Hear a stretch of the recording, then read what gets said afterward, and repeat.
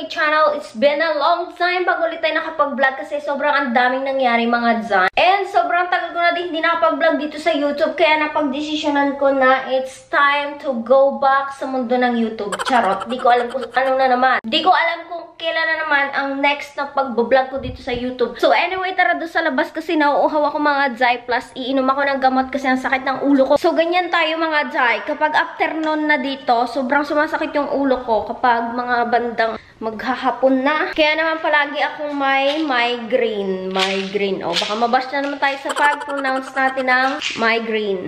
O, pak, ganun. so, tinatry ko naman matulog pero di ako makatulog. So, inom lang ako ng inom ng tubig hanggang sa naihi na ako mga dzay. Oo. Kasi feeling ko kasi kulang ako sa tubig kaya lagi sumasakit ulo ko. Pero parang hindi yun yung dahilan eh. Parang na-allergy na din ako sa ilaw, sa noise.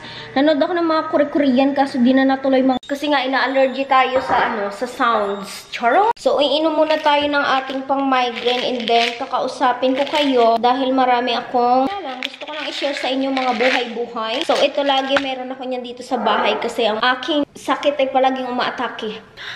So, I think we're good na mga guys. So, pwede na tayo magchismisan. Charot!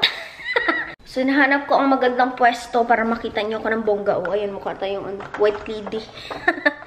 It's been a long day without you, my friend.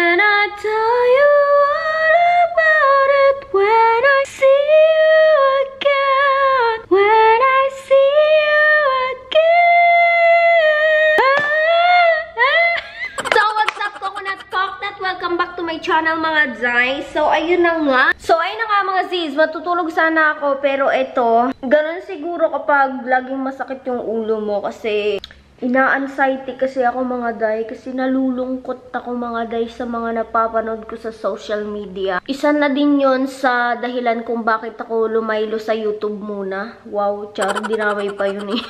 Hindi, charot lang. So anyway, before anything else, yan, i-follow nyo pala ako sa aking Facebook page. So ilalagay ko na lang dyan sa description box para hindi na kayo mahirapan. So ayun na nga, um, i-update ko lang kayo kung ano nang bang nangyari sa akin mga day. Pero kung nanonood kayo na aking mga videos sa FB is alam nyo kung ano nangyayari sa buhay.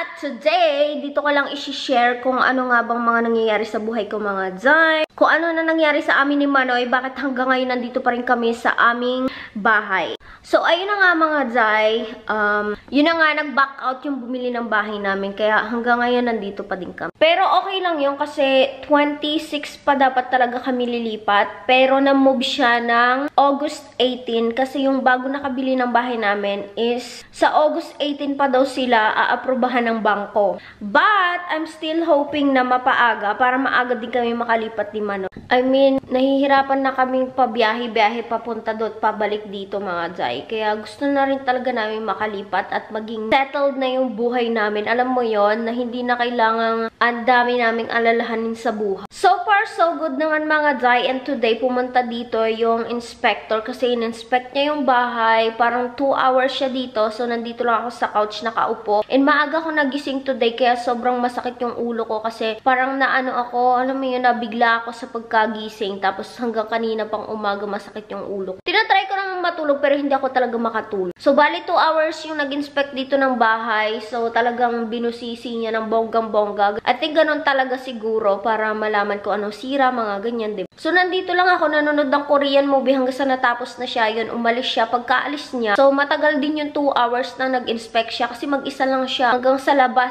talaga. In-inspect niya sa labas. As in, make sure niya na everything is you know, good. Tapos pagkaalis niya, yun, kumain ako. Sakit na ng ulo ko mga day. Tinry ko matulog, pero hindi ako makatulog. Tinry ko, parang ako nalulungkot na ewan. Basta ganun. I mean, masaya naman ako kanina. Tapos suddenly, bigla akong nalungkot. Tapos sumakit na yung ulo ko. Kasi kanina, natambay ako sa TikTok. Tapos ang lulungkot ng mga ibang Pilipina doon na nag-aaway sila.